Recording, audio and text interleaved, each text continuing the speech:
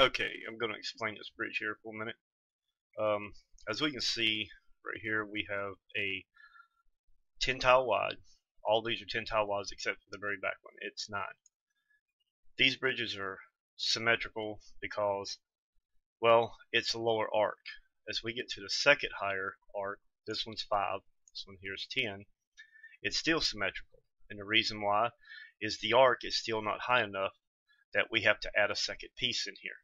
But when we get to this bridge, which is the same width, and it is a um, 15 arc, as you can see, without the third piece in the center, because the arc is higher in elevation, it has to compensate. Now, they made the bridges uh, round at the top instead of coming to a TP. That's why the bridge will add specific pieces in at the arc of the creation based on the length of the bridge or whatnot.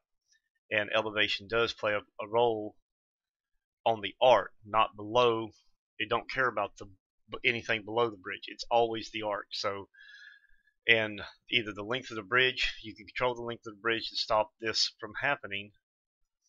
But it's like for right here, this here is nine tiles wide. It's the same arc, same bridge, it is symmetrical. That's because the tile went in one uh, on this side right here. We took it in one. If we were to take it back one, it would still be symmetrical because it would give it enough width to actually add the extra piece and have the odd the odd piece in because of the arc angle.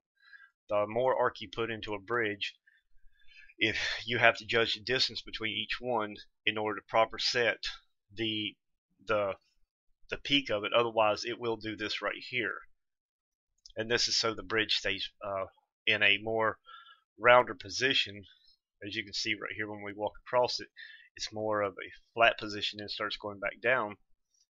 Uh, this is the whole purpose of this and it's done uh, it ain't nothing wrong with the bridge or anything like that. It's just you have to base your length off of it. And I hope this video helped you